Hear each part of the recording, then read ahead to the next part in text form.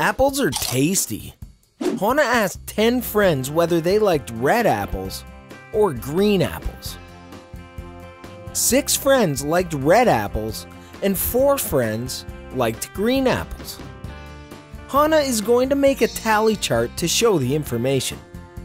Since six friends liked red apples, we draw six tally marks. We draw the marks in groups of five. Every fifth mark, we draw a line through the other four. This makes the tally marks easier to count.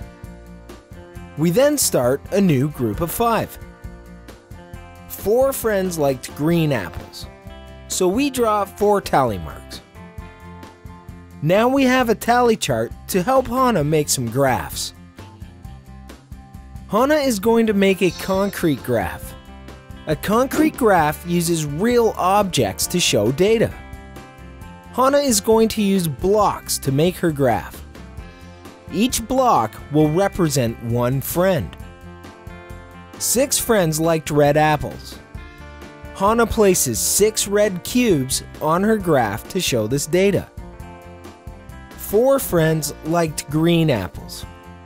Hana places four green cubes on her graph. Hana has made a concrete graph.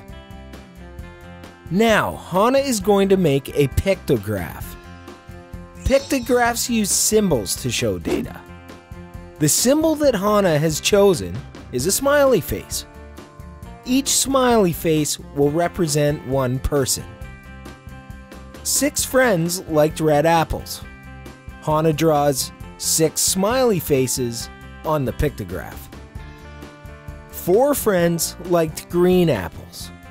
She draws four smiley faces on the pictograph. There are many ways to show data with graphs and charts. We used a concrete graph, a pictograph, and a tally chart to show how many friends liked red apples and green apples. You know, all this talk about apples really makes me want some apple pie. Mmm.